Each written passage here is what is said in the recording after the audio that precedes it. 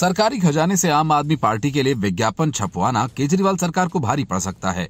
इस मामले में केजरीवाल के इशारों पर सियासी विज्ञापन जारी करने वाले पाँच अफसरों को निलंबित कर दिया गया है। इसके अलावा दो अन्य तानिक्स अफसरों पर कार्रवाई के लिए गृह मंत्रालय से सिफारिश की गई है, लेकिन सिर्फ़ पाँच अफसरों के निलंबन से ही केजरीवाल की मुश्किलें कम नहीं होने वाली, क्योंकि उपराज्यपाल ने सरकारी विज्ञापनों की आड़ में जारी किए गए पॉलिटिकल विज्ञापनों पर किए गए खर्च की वसूली के आदेश भी दिए हैं। अब सारी रकम आम आदमी पार्टी से वसूली जाएगी।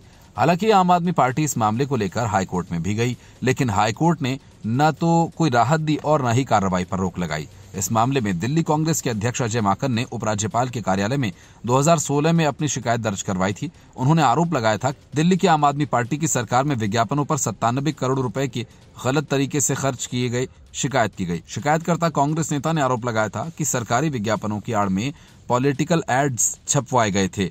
इस शिकायत की जाँच committee on content regulation on government advertising ने की थी।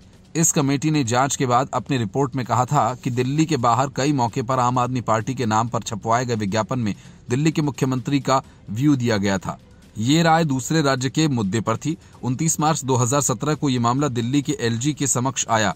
इसके बाद उपराज्यपाल ने इस तरह के विज्ञापनों पर खर्च की गई राशि को रिकवर करने का आदेश दिया और नए पेमेंट को रोके जाने का भी आदेश दिया। इसके अलावा उन्होंने इस मामले में जाँच तय करने की और ज़िम्मेदारी भी तय करने का निर्देश दिया।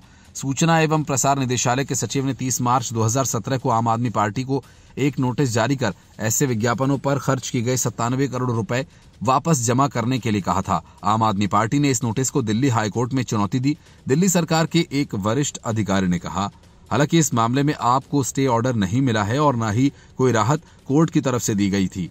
उन्होंने कहा, इस मामले में ज़िम्मेदारी तय करते हुए पाँच सबॉर्डिनेट्स अधिकारी जो इससे पहले डीआईपी में कार्यरत थे, उन्हें सस्पेंड कर दिया गया है। इसके अलावा दानिक्स के दो अफसरों, शमीम अख्तर और मनोज कुमार द्विवेदी को लेकर एलजी से अप्रूवल मिलने के बाद निगरानी निदेशालय ने उन्हें सस्पेंड करने की सिफारिश गृह मंत्रालय से की है।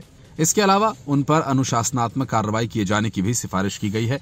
तानिक्स के अफसरों पर कार्रवाई करने के लिए गृह मंत्रालय ही उचित अथॉरिटी है। अख्तर अभी दिल्ली सरकार के ग्रामीण विकास विभाग में पोस्टेड हैं, जबकि द्विवेदी, अंडमान और निकोबार में अपनी सेवाएँ दे रहे हैं। Bureau report, news of India.